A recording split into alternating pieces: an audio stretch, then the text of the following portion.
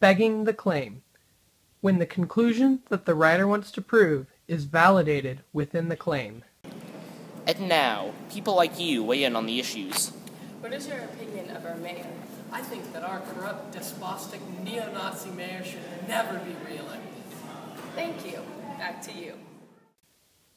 To avoid begging the claim, be sure to give all of your proof after making your complete claim. And now, people like you weigh in on the issues. What is your opinion of our mayor? I think that our mayor should never be reelected because he's corrupt and, well, we just don't need him. Thank you. Back to you.